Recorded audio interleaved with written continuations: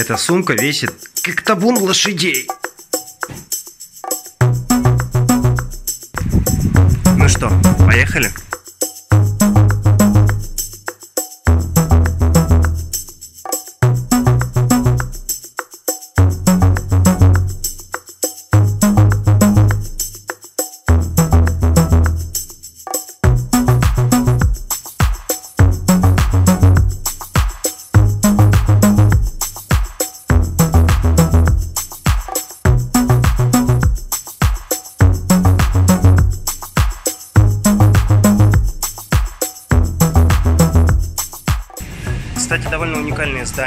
Своей архитектурой, и кучей граффити. Его сносить одно время хотели, а потом решили все-таки оставить. Оно построено по проектам конструктивистов и считается одним из самых странных зданий в Тель-Авиве.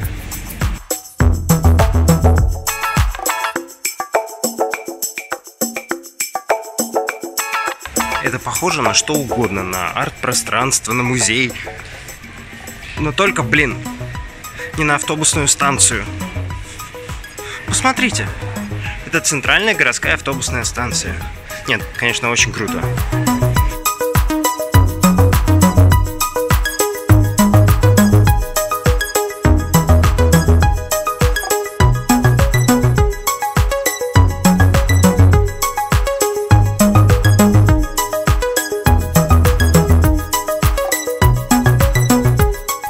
Я уже пятый год тут живу, но в этом здании до сих пор не ориентируюсь. Я уже, наверное, минут... Это стыдно сказать, а минут 40 еще автобус, который едет в Хайфу.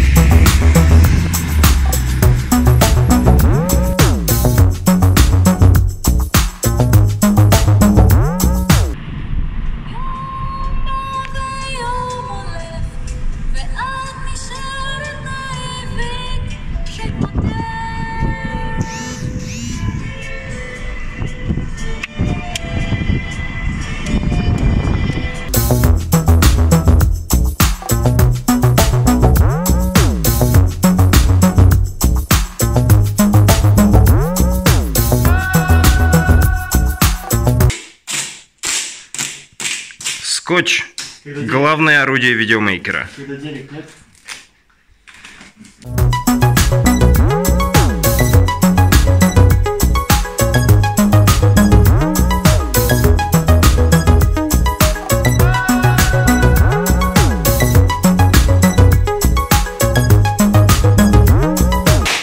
Э! Сегодня мы в Хайфе, в студии команды мастеров Адреналин Крю, где работает Паша. Паша опытный тату-мастер, и я просил вас, моих подписчиков, написать некоторые из вопросов, которые можно будет задать ему для интервью. И эти вопросы прозвучат сегодня в нашей записи. Привет, Паша. А, расскажи, Привет. пожалуйста, как ты стал тату-мастером? Стал я тату-мастером, ну, не знаю, как-то среди друзей там были все в татуировках, были тату-мастера знакомые, как-то в этой сфере варился. Потом пришел сам попробовать. В принципе, я в теории знал уже все, как это все происходит. Вот, и начал по чуть-чуть что-то на себе, на друзьях, и Первые Потом- татуировки ты набивал на себе. да. А Во сколько это было? Ну, это было как раз э, лет шесть назад. Я думаю, все тату-мастера делают. То есть сколько лет тебе тогда было? Мне тогда было лет 25. Мгм. 25, да. А ты помнишь, что это была за татуировка? Это была, да, звездочка. Покажи ее. Вот эта звездочка, да? Да. Это была первая его татуировка, с которой все началось. История татуировки насчитывает тысячелетия. Доподлинно неизвестно, кто и где впервые стал наносить несмываемые символы и изображения на кожу.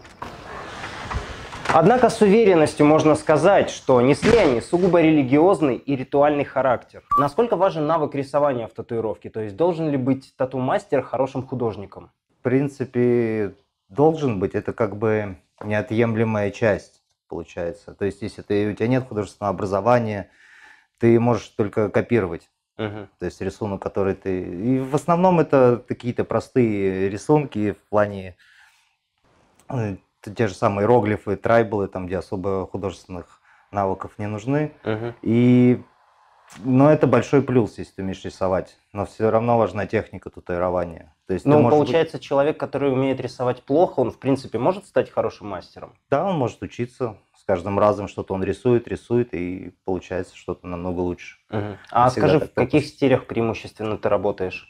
Преимущественно, ну, больше всего люблю реализм, Мгм. так как это более интересный, сложный, и есть над чем подумать. А так, в принципе, я берусь за многие стили. А что бьешь чаще всего, что клиенты обычно заказывают?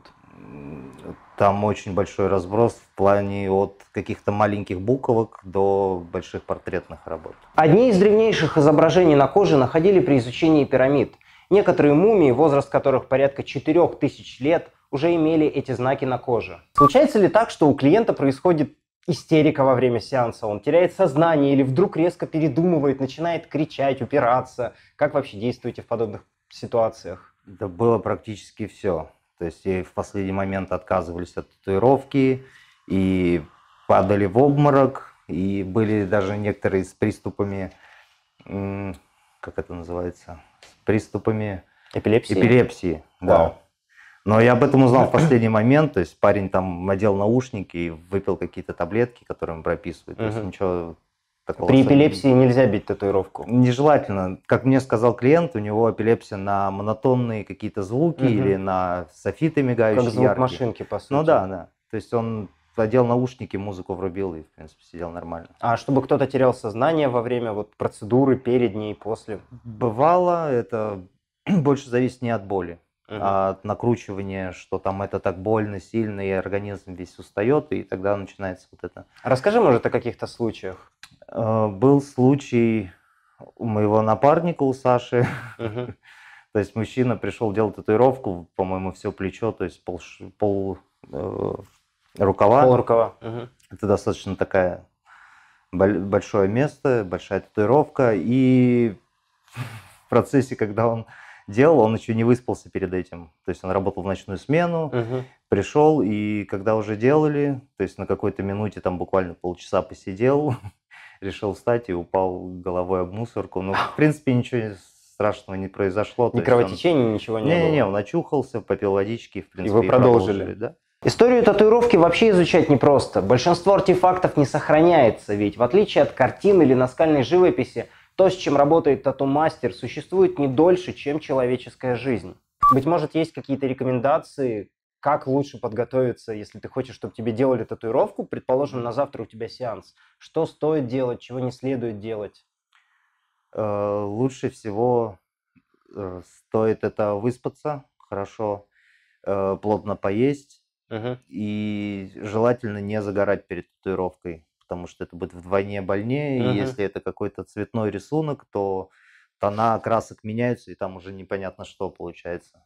То есть это тогда потребуется еще один сеанс коррекции там или какой-то доработки. И все, в принципе. И не пить. Помимо алкоголя нету никаких специфических требований, например, не пить кофе там за два часа до сеанса или еще что-то подобное. Но это зависит, наверное, от размера татуировок. То есть, если это какая-то работа 10-минутная, получасовая, что-то быстрое, маленькое, я думаю, это никакой проблемы. А если это крупная А работа? если это крупная работа, там уже где-то после 4-5 часов уже все течет, уже невозможно работать. Мгм. То есть человек просто отправляется домой и на Да, следующий да. день или через время. С развитием мореплавания и открытием новых земель европейцы стали знакомиться с новыми, дивными, разукрашенными людьми. Церковь, правда, не отставала и быстро заявила, что татуировки – это плохо, ведь нанесение изображений на свое тело – это идолопоклонничество. К слову, иудаизм тоже не был в восторге. Только представьте консервативных европейцев, живущих в той эпохе. Они жили по традициям Старого Света. И как, по-вашему, они могли относиться к людям, тело которых украшали замысловатые узоры, которые просто невозможно смыть? Тут спрашивают, как ты относишься к ультрафиолетовым татуировкам? И приходилось ли вообще самому с такими работать? Нет, я с этими татуировками даже не сталкивался. Я видел на ком-то, на ком набито. Но, не знаю, я не доверяю этой краске. Так Она выцветает вообще через время? А, ультрафиолетовая, она по сути такого светлого цвета, как Мгм. белая или какой-то кожаный тон, и она смотрится как, ну, как белая краска. Она похожа как на шрам. Мгм, То есть э, на светлой коже светлая краска, без контраста это смотрится убого. мгм. Но зато в темноте они светятся. Светится, но не знаю, составу краски такой не доверяю. А, вопрос в продолжении темы. Как ты относишься к белым татуировкам и к шрамированию?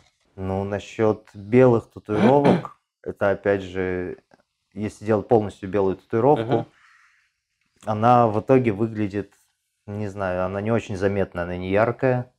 Это я делал такие вот мандалы вот в белом цвете. В принципе, это выглядит как салфетка на руке или как какие-то шрамы мгм. маленькие. Не знаю, мне оно не нравится и неудобно, и Возможно, это вариант для людей, которые не уверены, что хотят татуировку на всю жизнь, потому что ты ее набил, и через 2-3 года она полностью выцветит, следов не оставит практически. Или я ошибаюсь? э, ну, в принципе, нет. Если не уверен в татуировке, лучше ее не делать. Мгм, Ты как бы сэкономишь время мастеру и себе, мгм. и деньги. Я не знаю, белый... Белая краска вообще используется только для подчеркивания каких-то бликов, что-то прям чуть-чуть-чуть-чуть. Так как при заживлении она не белая Мгм. совершенно. То есть там какой-то цвет кожи все равно тон идет. Из личного опыта скажу, у меня две татуировки на руках, вот, собственно, одна, я не знаю, насколько будет видно, вот, вторая. А, там есть в некоторых местах белые такие контуры, и они уже повыцветали. У меня этим татуировкам порядка трех или четырех лет, я точно сейчас не вспомню.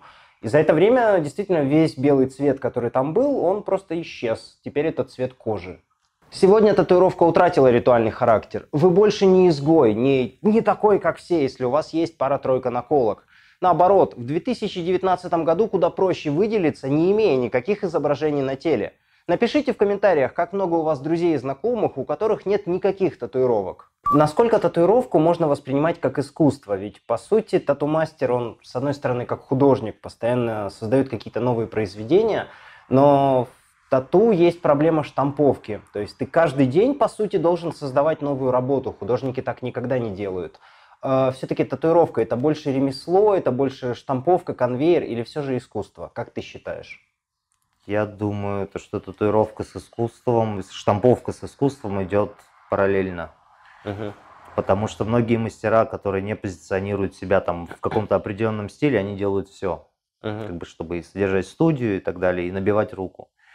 Э, Искусство, в плане искусства это татуировка, когда татуировщик сам делает эскиз оригинальный, которого никого нету, сам рисует или делает на фотошопе, и тогда это искусство. А взять с интернета там какой-то эскиз, это, это как купить какую-то вещь. Я думаю, Зайти. большинство людей так и делают, просто приходят с готовыми эскизами. Да. Часто ли ты предлагаешь перерисовать эскиз, что-то изменить? Как часто вообще приходят просто с готовой работой со словами «хочу это»?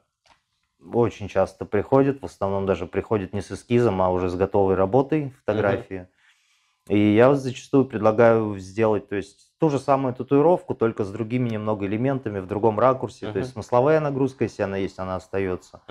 Там, например, тигр с часами и с розочкой. Можно Мгм. просто взять другую розочку, другие часы и другого тигра. Чтобы была более уникальная работа. Она и уникальная, да, и можно подобрать какой-то другой ракурс, который будет объемнее, интереснее смотреться просто. Многие этого не понимают, но когда вы вбиваете в гугле «татуировка дракон» и выбираете одну из первых 10-20 картинок, которые вам выдает система, то если вы живете в крупном городе, будьте уверены, есть еще пару десятков человек, которые ходят с точно такой же татуировкой. Если приходите к мастеру, если это хороший мастер, попросите его немного переработать эскиз, какие-то элементы добавить. Вы и сами можете посидеть и подумать, что следует изменить в этой работе. Как ты считаешь, татуировка должна нести какой-то смысл, подтекст, или это все-таки ну, больше как украшение, как браслет или бусы? Это на желание клиента. То есть, если он хочет вложить в него смысл, тогда можно вложить в него смысл. Если это не несет никакой смысловой нагрузки, то, в принципе, это тоже нормально. А твои татуировки, они просто для украшения или есть какой-то смысл в них? У меня такой микс. Есть какая-то интересная, может, связанная с воспоминаниями о чем-то дорогом, важном? Я не знаю, наверное. Я вот вижу, у Star. тебя логотип, у него логотип одного израильского бренда пива набит. Э, Ты, наверное, любишь это пиво? Э, Любил, когда еще приезжал только в Израиль, попробовал. В России Мгм. таких сортов не было, мне Это понравилось. очень популярное здесь пиво. Причем я делал в Москве Мгм. татуировку, потом уже приехал в Израиль, и на каком-то паблике, по-моему, этого пива э, увидели фотографию, Мгм. то, что у меня эта татуировка. Спросили, это точно татуировка или так далее. А не наклейка какая-то. И выслали мне подарок два ящика пива, чтобы они могли перепостить эту фотографию. Я не рекомендую так делать. Э, Вам придется всю жизнь ходить с этими татуировками. Вспомним случай с Домина Спица, который недавно был, когда люди должны были набить логотип а в виде двух таких кубиков. Вы наверняка знаете, как выглядит логотип Домина Спица. И они за это получали пожизненный запас пиццы. Так вот, оказалось, что сейчас у этих людей есть проблемы с налогами, потому что нельзя просто так взять и на всю жизнь подарить человеку пожизненный запас пиццы. В общем, если вы хотите набить какой-то логотип или какой-то символ бренда, 20 раз подумайте, стоит ли это делать. В основном денег не дают за это. Да, я не думаю, Потому что... что... это нужно быть каким-то медийным фейсом таким, которого все знают, тогда да. А так, в принципе, наверное, могут засудить за авторские права какие-то. Это хороший вопрос. А, В контексте вот недавнего артикула 13, статьи 13 Европейского законодательства об авторском праве, о котором я рассказывал в одном из предыдущих роликов, как они вообще это будут оценивать, когда у человека есть э, элемент бренда на руке, на ноге, где угодно? Э, Потому что, согласно этому законодательству, нельзя просто так взять и где угодно использовать логотипы и другую символику.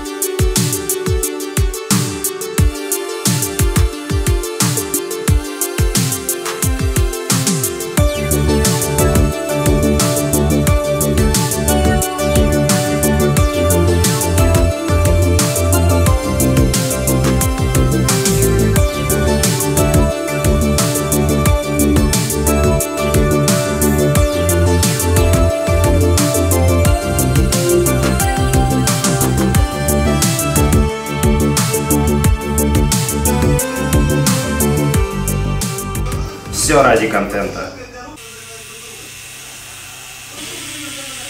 Очень важный вопрос, очень серьезный. Альянс или Орда? Ну, наверное, Орда. Орда. Орда. Как ты относишься к тюремным татуировкам? И бывают ли клиенты, которые хотят это набить? К тюремным я, в принципе, никак не отношусь, потому что у меня не было каких-то там тюремных татуировок. В основном только переделывал. Мгм. Э, Встречались тюремные татуировки, сделанные, ну, красиво нарисованные, именно это потому что рука у художника была хорошая, а по качеству они все говно. Мгм. Потому что они не краской делают и какими-то подручными средствами, то есть это при заживлении, это недолго и некачественно. Ну а если клиент к Поэтому- тебе приходит, показывает стандартную там картину с куполами и говорит, вот хочу такое, ты будешь использовать обычные техники или надо какую-то специальную краску искать, которая дешевая, плохая, но выглядит так же? Приходили люди, которые хотели именно такой синевой, вот эти вот расплывчатые татуировки. Но приходилось им объяснять, что это они синие, потому что это некачественная краска, и это там все расплылось. Вот. Но делали татуировки как бы зоновские, но немного в другой стиль их переводили. Например, какой-нибудь old school, Мгм. там купола сделать в олдскуле и так далее. Да, делали такие. Но в основном их перебивают, закрывают или вообще перебивают полностью. Мгм. Скажи, встречаются ли люди, которые тебя осуждали за татуировки, называли сатанистом, говорили, а что ты в старости с этим делать будешь? Да, почти каждый день такое, наверное, видят и говорят. Ну и мне лично говорили. Мгм. Ну, как бы я к этому вообще никак не отношусь. В принципе, в старости они будут смотреться как обычная старческая кожа, только цветная. Очень важный момент. Послушайте мнение тату-мастера. Я сам очень часто слышу аргумент, что в старости твоя татуировка выцветит, расплывется по всей коже, и как это вообще будет выглядеть. Вот Паша, тату-мастер, нам сейчас скажет, что же происходит с татуировками в старости, лет в 70. Да ничего, они подплываются, расплываются, будут какие-то пятна. В принципе, если их корректировать с какой-то периодичностью, они будут нормально смотреться. Да и когда будет лет по 70 нам, я думаю, уже без татуировки будет странно смотреться старик. В 70 лет уже давно будет трансгуманизм, чипы в голове. Я думаю, последнее, что будет вас волновать, это татуировка бабочки на руке. Как часто приходят клиенты пожилого возраста? И вообще, какой был самый младший по возрасту клиент и самый старший? Э, Приходит очень с разным разбросом возрастов. То есть самый младший был, по-моему, лет 15-16. Они Это с родителями он да, должен они приходить. приходили с родителями. Э, И с, таким, э, с такими детьми, подростками лучше всего узнать, точно ли хочет он эту татуировку. Потому что бывает у многих клиентов, я отговариваю это делать. Мгм. Когда я вижу, что это какая-то плохая татуировка, какая-то дичь, да. И чтобы потом проблем не было в будущем с этой татуировкой, перекрывать, закрывать и так далее, Мгм. то лучше 10 раз подумать. И многих я просто отправляю и не делаю. А со взрослыми очень много бабулек забивается. Много бабулек? Да, причем Именно бабулек или вообще именно просто... бабулек. То есть женщин пожилых? Да, бывали и такие дедули, но в основном такие женщины в возрасте. Интересно. И причем они так отчаянно забиваются. Прям много татуировок делают. Да, у меня из клиентов была одна женщина, там порядка, наверное, 50-60 лет, 60-70, я бы даже сказал. И она как-то сделала, просто зашла, сделала маленькую татуировочку, и ее понесло на практически рукав. Вау. То есть там мы по чуть-чуть, по чуть-чуть, и вот так вот заби- забивались. Я думаю, некоторые люди просто всю жизнь мечтают о татуировках и понимают, что вот они уже лет 50 прожили, а татуировок нет, и просто, наверное, идут во все тяжкие. Нечего терять. Как отличить хорошую татуировку от плохой? В чем разница?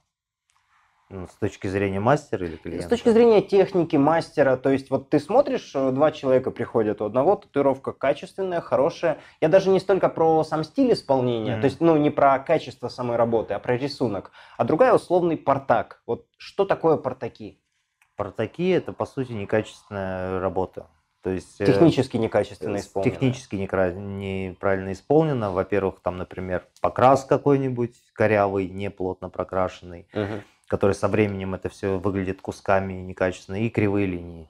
Мгм. Это в основном. Ну а техника рисования уже это другой разговор.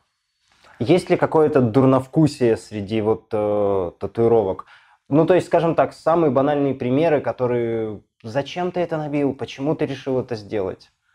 Это примеров, в принципе, много. Ну, Самая-самая А. попса, скажем так. самая попса это, это идет как бы с веянием моды. То есть Мгм. какие-то периоды приходили, например, в 90-е, я помню, еще приходили с этими тройбалами все, которые посмотрели. фильм Я сам когда-то «Закат очень хотел рассвета». набить трайбл, на самом деле. Хорошо, что я не сделал этого, потому что сейчас мне этот стиль очень не нравится. Были вот с Полинезией, Маори, вот этот орнаментал, тоже показывали все с одной фотографии этого э, The Rock, который... э, Рестлер, который в фильмах снимается, Рок, Скала. Как. А, Дуэйн Дуэйн- Скала Джонсон. Да, да. вот Дуэйн Скала Джонсон. Джонсон. И с его фотографией приходили, и все как один хотели вот татуировку. Сейчас уже мода на Маори ушла, я так понимаю. Ну, Периодически приходят, но в последнее время я больше встречал таких, которые разбираются в этом. То есть все эти закорючки э, в Маори, они, в принципе, там какое-то им несут значение Мгм. изначально. И мне кто-то говорил, кто в этом разбирается, что вот эта вот татуировка у Рока, там как бы исполнена история его семьи. Мгм. И все приходили, делали историю его семьи зачем-то. То есть это как-то глупо смотрится, если углубляться там в эти понятия татуировок. Вопрос продолжения темы. Как часто приходится, возможно, тебе или кому-то из твоих знакомых бить татуировки, смысл которых непонятен ни тебе, ни клиенту? Например, китайские иероглифы, которые клиент приходит, говорит, что это слово «вечность», но, возможно, если вбить в Google переводчики, мы узнаем, что это суп или лапша. Э, Сейчас уже меньше с иероглифами приходит, но было как-то, да, такой прям период, когда все приходили, но в основном, Ты отговаривал людей? когда начинал, тогда делал все подряд. Мгм. То есть, чтобы набить руку и так далее. Потом, если встречал этих клиентов, или они приходили за повторной какой-то татуировкой, я старался там перекрыть или как-то переработать уже свои старые портачки. Мгм. То есть у каждого татуировщика есть свое маленькое кладбище. То есть кто-то с чего-то начинал.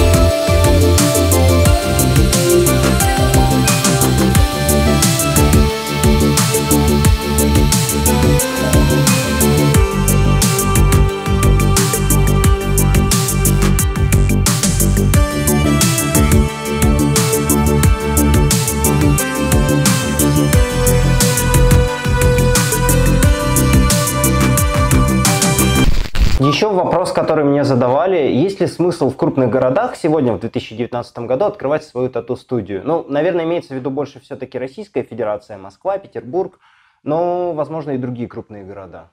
Насколько высока конкуренция?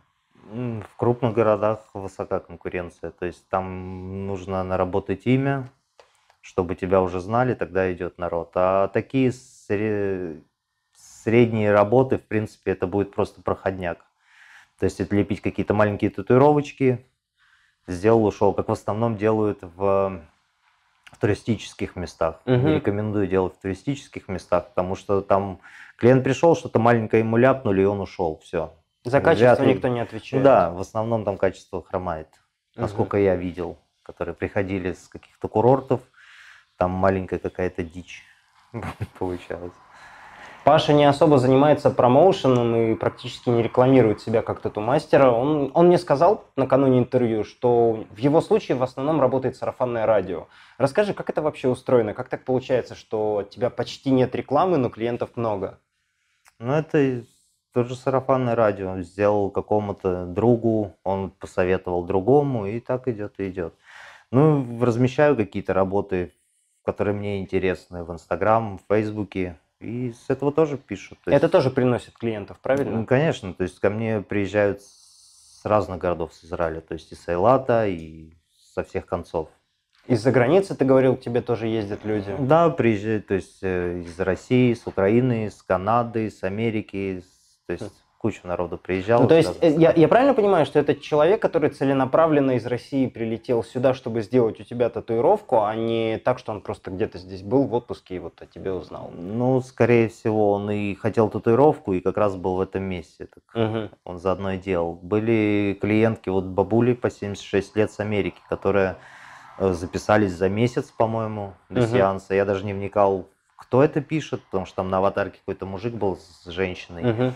Вот, и приходят две бабули, то есть через месяц, и классно забились. Как часто тебе приходится делать татуировки, которые откровенно не нравятся? И часто ли ты отказываешь э, в подобных заказах? Делаю, в принципе, частенько, но отказываться не в моих интересах. Мгм. потому что нужно студию содержать, во-первых. Ну, пытаюсь как-то, когда показываешь пример, как должна выглядеть татуировка, люди соглашаются. Потому что некоторые живут немного прошлым и думают, что татуировка это как армейская, более Зоновское зоновская. что-то, Да, какие-то силуэты, какие-то там линии расплывчатые. И многие не видят в интернете, причем странно, в 21 веке, не видят очень крутых, крутые работы. В принципе, как фотография, Мгм. очень много интересных мастеров сейчас. Тем более эта культура так набирает обороты. Сейчас мы заклеим заживляющей пленкой EZ. Реклама.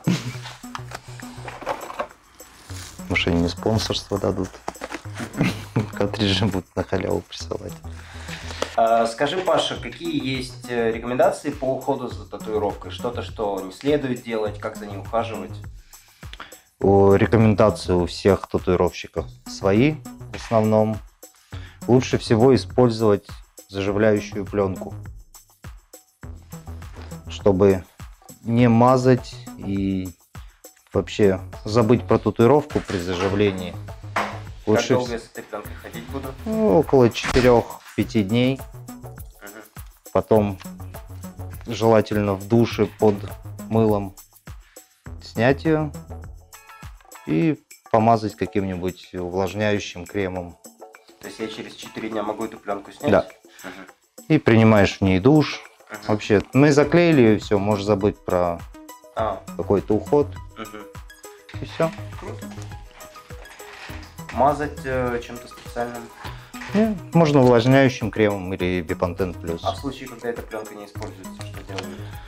Э, В основном мажут Бипантен плюс или продаются куча разных кремов специально для, для ухода за татуировкой. Там выбор большой. Мгм. То есть это найти можно и в интернете, или в студиях продается в основном. Ну, то есть любую студию можно просто прийти спросить. Да. Чего делать не стоит ни в коем случае. Не стоит свежую татуировку мазать спиртом и алкоголесодержащими всякими веществами. Мгм. Желательно не принимать, не ходить в сауну, не распаривать кожу. То есть любое термическое воздействие. Да. И бассейны, где содержится хлора, много хлора в воде.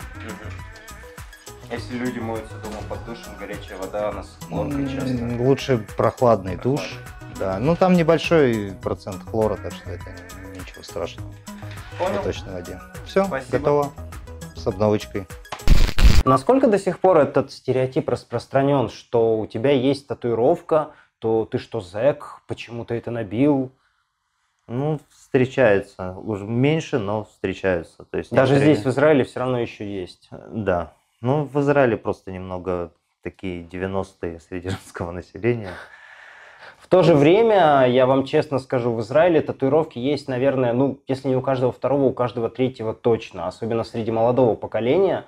А, Из людей, которых я знаю, не так уж много тех, у кого татуировок нет вообще. Это редкость. А, Расскажи вообще, как ты обучался татуировке? То есть, что ты делал, какие шаги были? Э, Для начала я купил какие-то китайские машинки. И я знал, что они китайские, я знал, что они будут плохо колоть, но колол я на себе. И в основном это YouTube, это Google, это вопросы у каких-то знакомых, друзей, кто татуирует уже достаточно давно. А так вся информация есть в интернете, практически вся для самых начинающих до каких-то там уже с опытом мастеров есть куча информации. То есть ни на курсы, ни в какие специальные школы тату-мастеров ты не ходил. Вопрос такой, как ты относишься к школам мастеров, к курсам татуировки? Насколько они нужны и полезны?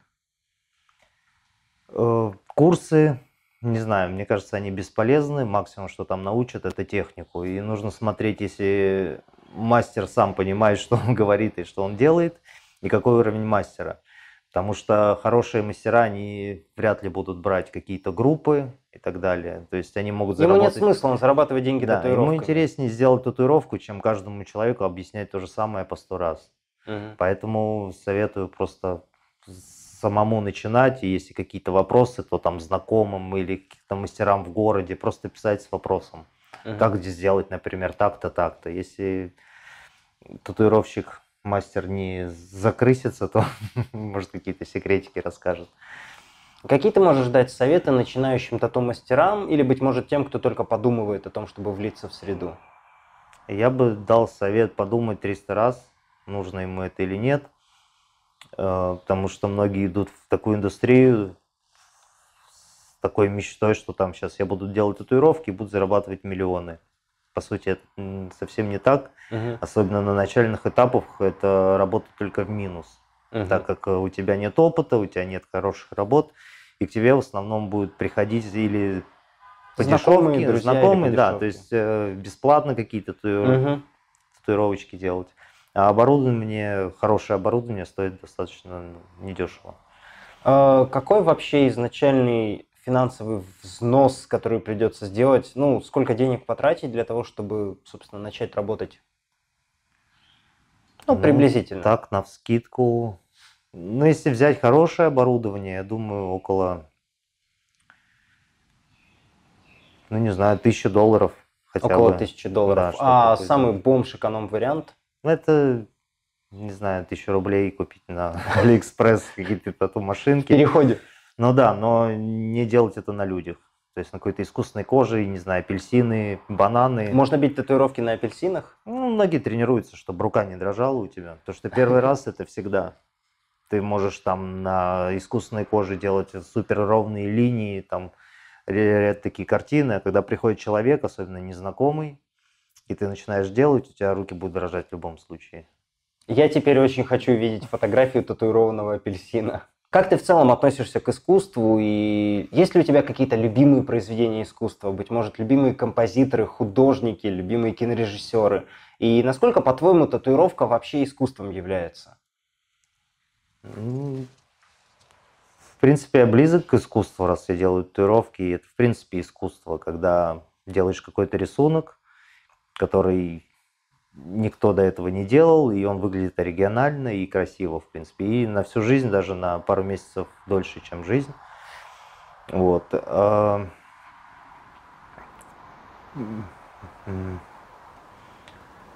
Что касается кино и любы- любимых каких-то художников, в основном я слежу за татуировщиками Мгм. посматриваю художников, ну, как они исполняют, больше за исполнением слежу, Мгм. чем за конечным результатом каких-то художников.